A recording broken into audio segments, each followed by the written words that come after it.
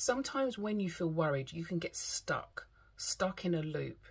Now, this is not to say don't worry, because we all worry, myself included.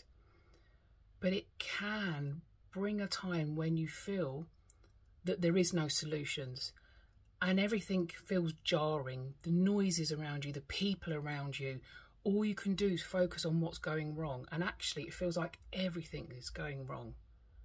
There are no solutions, and you feel even more um, agitated, angry, worried than you did before.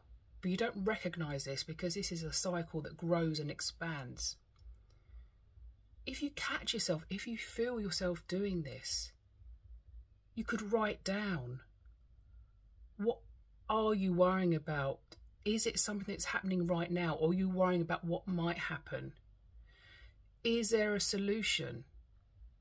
Can you go and ask for help? Do you need time and space to take care of yourself because you may not control or be able to control what's happening? And actually, the only thing you can do is look after yourself, take care of yourself, because that constant worry feeds on you, depletes you. As always, sending you so much love. Bye.